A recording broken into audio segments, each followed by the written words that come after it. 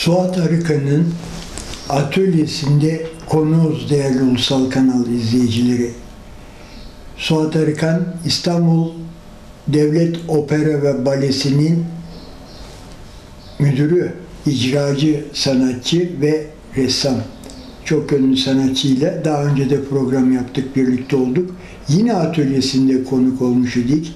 Bu olağanüstü güzel yer e, iki katlı atölye ve sergileme alanıyla bugün sergileme alanında konuğuz. Teşekkür ediyoruz size. Küçük bir düzeltme yapalım. Artık emekliyim bir senedir. Evet ben bunu hemen söyleyeceğim ve sizden aldığım bilgi e, yaş gününde emekli diyorlar insanlar. Evet, aynen öyle. E, sanat dünyasında bu devlet e, kurumlarında e, işleyen bir yapı. Doğru bir yaklaşım mı bu? Sanatçının emekliliği ne demek? Şimdi Yani- şöyle kanun gereği, devlet memuru kanunu gereği 657 Evet. nin 65 yaşında e, mecburen emekli olması gerekiyor. Evet, Tabii doğru. 100 yıl önce bu kurumumuz kurulurken e, söylediğiniz çok doğru. Kurumumuz kurulma aşamasındayken bizim aslında normal olmayan bir kurum olduğumuz tescil edilmeliydi.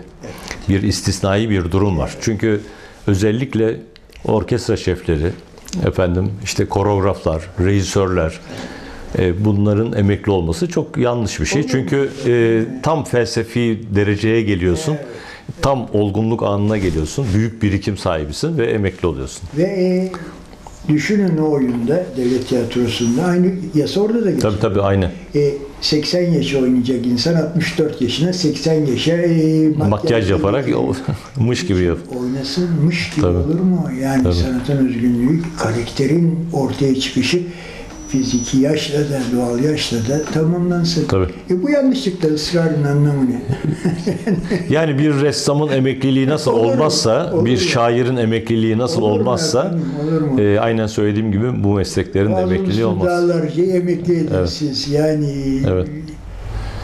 Hani kaslarla yapılan meslek de tamam emekli olması normal. Çünkü kaslar bir yerde e, artık e, eski performansı gösteremiyor. Spor- Ama dediğim gibi beyinsel felsefi- duruma düşmesin o büyük oyuncu. e, tabii. E, topa öyle vuran, o hızla geçen e, Tabii. e, ya da e, kaleci e, öyle kalsın akıllarda. E, kendini e, tamam desin, aktif hayattan çekiliyorum desin Tabii. filan. O yine hissettiğiyle ilgili biraz. Ama söylediğiniz o başarılı futbolcu da antrenör olarak, çalıştırıcı Devam olarak yine e, birikimlerini e, gençlere verebilir. Evet, ben e, size özelde tekrar sorarak hiç emeklilik duygusu emekli Valla yoğun yoğun çalıştığımda e, ben aslında sahnelerden inmeyen bir e, oyuncuydum, şarkıcıydım. ve oynadığınız, e, yorumladığınız gün emekli oldunuz değil mi? Öyle? Evet tabii tabii tabii gününde 24 Mayıs'ta e, Don Quixote. Don Quixote Mançalı adamı oynarken e, son perdede son selamımı verdim. Evet. Devlet şeyinde. Evet. Daha sonra gerçi davet edildim Atatürk Kültür Merkezi'nde Sinan e, operasını oynadık emeklilikten bir hafta 10 gün sonra. Emekli olduğunuz zaman e, emekli olmadan önce daha doğrusu bu şarkıcılık hayatım sırasında e, çok mutluydum. Şarkıcılık diye ifade ediliyor değil mi? Tabii ben şarkıcı yani pop şarkıcısı, caz şarkıcısı, opera şarkıcısı Evet. e, iken çok memnundum. Sonra başıma bu yöneticilik e, derdi geldi. Önce e, pek hoşuma gitmedi imza atmak falan ama sonra sanat yönetmenliği beni çok mutlu etmişti. Yani bir e, sezonu tasarlamak, bir resim yapmak gibi. Eserleri seçmek, rejisörünü seçmek, orkestra şefini seçmek, solistleri seçmek. Ondan sonra da e, terziler, marangozlar, demirciler çalışıyorlar, çalışıyorlar ve senin hayalini gerçekleştirmek için yüzlerce kişi e, bir ürün ortaya koyuyorlar.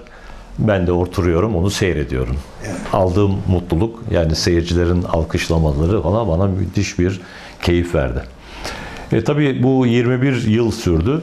Bu yoğun çalışmanın içinde hep emeklilik hayaliyle yani atölyemde kahvaltıdan sonra önlüğümü giyip bir fabrika işçisi gibi çalışmayı hep özledim.